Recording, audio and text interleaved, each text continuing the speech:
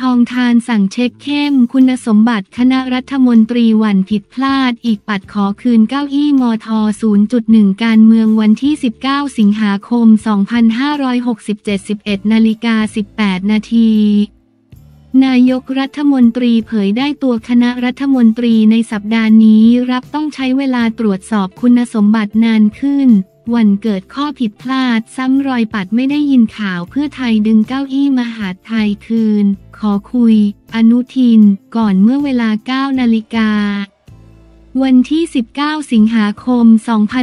2567 ที่หอประชุมวิทยาลัยป้องกันราชอาณาจักร วปอ สถาบันวิชาการป้องกันประเทศนางสาวแพทองทานชินวัตรนายกรัฐมนตรีให้สัมภาษณ์ก่อนเข้าอบรมหลักสูตร มินิวปอถึงการตั้งคณะรัฐมนตรี คณะรัฐมนตรี ชุดใหม่ว่าในสัปดาห์นี้จะประสานเพื่อพูดคุยกับพักร่วมรัฐบาล การแต่งตั้งคณะรัฐมนตรีจะทำให้เสร็จภายในสัปดาห์นี้ และจะพูดคุยให้ครบทุกฝ่ายขณะที่สัดส่วนรัฐมนตรีของพรรคเพื่อไทย จะพูดคุยรายละเอียดกับทีมงานในวันพรุ่งนี้ วันที่ 20 สิงหาคม โดยวันนี้ยังไม่มีการพูดคุยกัน และในช่วงบ่ายมีประชุมที่พักเพื่อไทย ซึ่งเป็นเรื่องภายในพักก่อนที่จะประชุมการแต่งตั้งคณะรัฐมนตรี เมื่อถามถึงสัดส่วนของคณะรัฐมนตรียังคงคละกันระหว่างคนเก่าคนใหม่ใช่หรือไม่นางสาวแพทองทานกล่าวว่ายังไม่ได้คุยรายละเอียด ซึ่งวันพรุ่งนี้จะเริ่มพูดคุย และจะมีความคืบหน้าตามลำดับโดยในวันพรุ่งนี้จะยังไม่แล้วเสร็จแต่ภายในหนึ่งสัปดาห์นี้จะพูดคุยกับพักร่วมรัฐบาลให้แล้วเสร็จ การแต่งตั้งคณะรัฐมนตรีชุดนี้จำเป็นจะต้องดูเรื่องของคุณสมบัติเป็นพิเศษ เพื่อไม่อยากให้เกิดสิ่งที่ผิดพลาด และไม่อยากให้ใช้เวลานาน จึงจำเป็นต้องรีบแต่งตั้งคณะรัฐมนตรีให้เสร็จ เพื่อส่งคุณสมบัติให้หน่วยงานที่เกี่ยวข้องตรวจสอบ เพราะรอบนี้หลายคนก็แนะนำว่าการตรวจคุณสมบัติจะนานขึ้น เมื่อถามย้ำว่าการแต่งตั้งคณะรัฐมนตรี อาจจะรวดเร็วแต่การตรวจสอบคุณสมบัติอาจจะต้องใช้เวลานานขึ้นใช่หรือไม่ นายกรัฐมนตรียอมรับว่าใช่ เพราะทุกคนเป็นห่วงเรื่องนี้ และคิดว่าไม่น่าใช้เวลาถึงหนึ่งเดือนในการฟอร์มคณะรัฐมนตรี เมื่อถามว่ามีรายงานข่าวในพักเพื่อไทยมีการเขย่าตำแหน่งมากที่สุด นางสาวแพทองทานย้อนถามว่ารู้มาจากไหนทำไมถึงมีข่าวทำไมถึงมีข่าวลือมาเรื่อยๆ ส่วนตัวยังไม่รู้เลย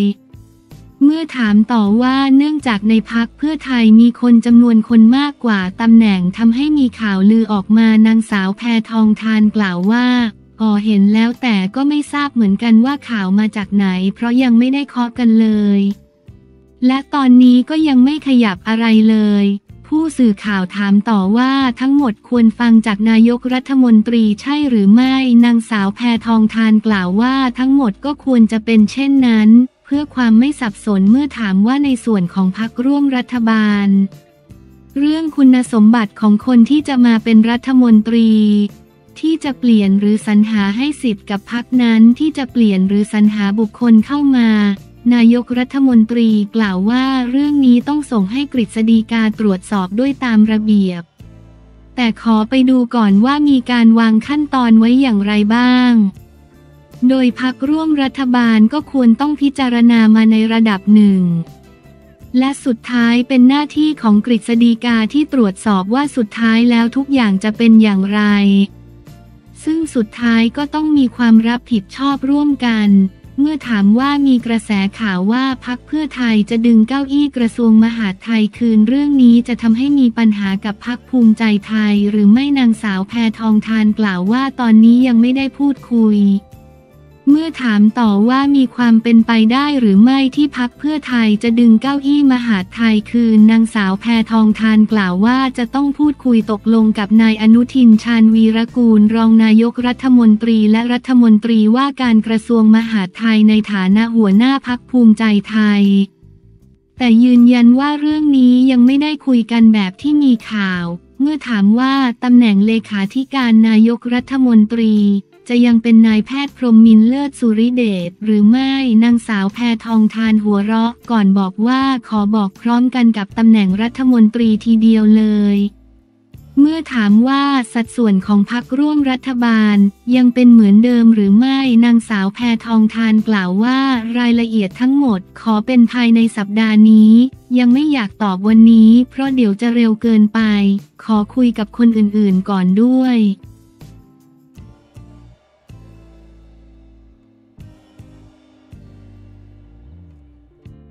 มือดีปล่อยคลิปว่อนนางเอกสาวไอปรีชยาลืมปิดไลฟ์อาบน้ำแฟนๆห่วงกระแสภาพหลุดบันเทิงวันที่ 18 สิงหาคม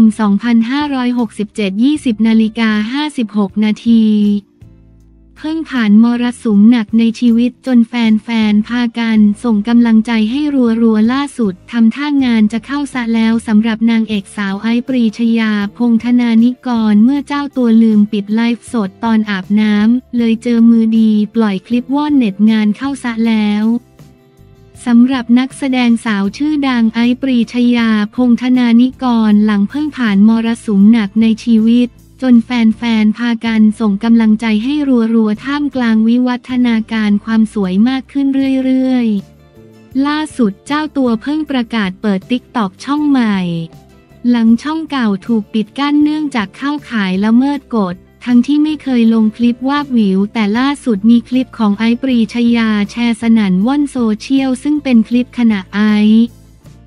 ลืมปิดไลฟ์สดขณะกำลังอาบน้ำแล้วช่วงที่ถูสบู่ผ้าขนหนูทั้งท่อนบนและล่างเกิดหลุดทำให้คนที่ติดตามไลฟ์สดอยู่บันทึกไว้แล้วนำมาปล่อยในโซเชียลทำเอาแฟนพากันเป็นห่วงนางเอกสาว เพราะกลัวได้รับความเสียหาย ซึ่งคงต้องรอไอปรีชยาออกมาชี้แจงเองถึงเรื่องราวทั้งหมดที่เกิดขึ้น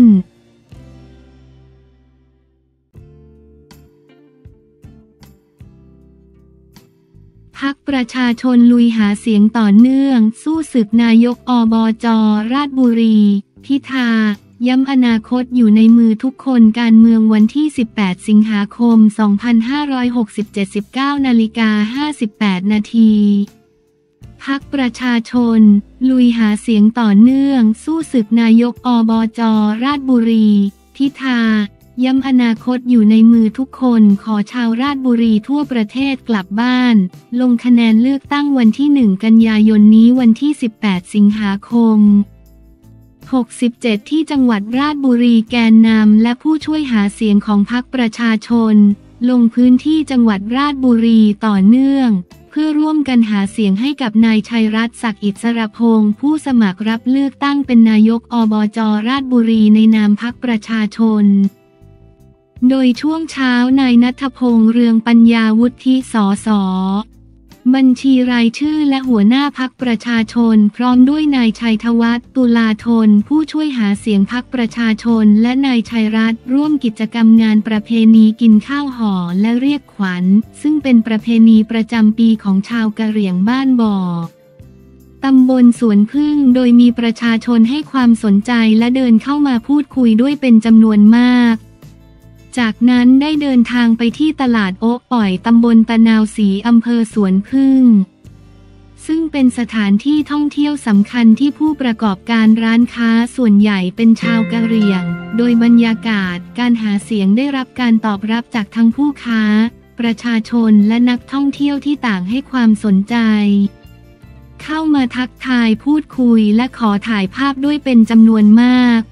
จากนั้นในช่วงบ่าย นายชัยรัตน์ได้เปิดวงพูดคุยกับกลุ่มเกษตรกรรุ่นใหม่ Young Smart Farmer ในจังหวัดโดยมีนายพิธาลิ้มเจริญรัตน์ ผู้ช่วยหาเสียงพรรคประชาชน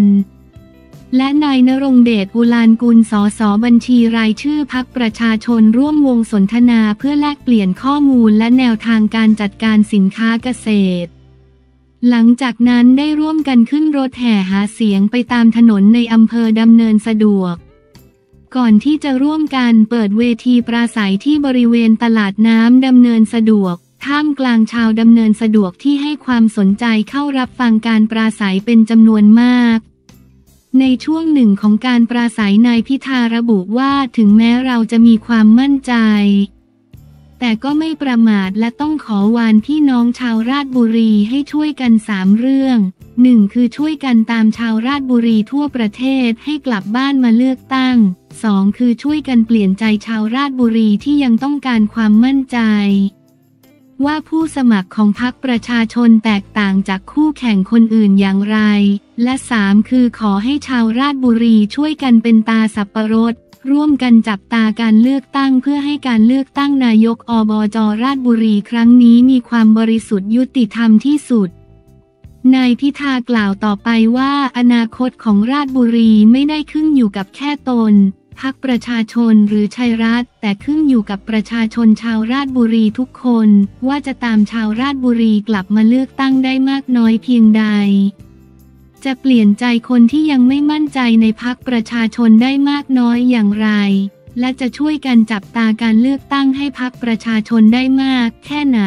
ถ้าทั้งสามขั้นนี้เกิดขึ้นได้ พวกเราชนะแน่นอน แต่ถ้าทำไม่สำเร็จ คนราชบุรีทั้งประเทศไม่กลับมาคนที่ไม่ได้เลือกพักก้าวไกลในครั้งที่แล้วไม่เปลี่ยนใจ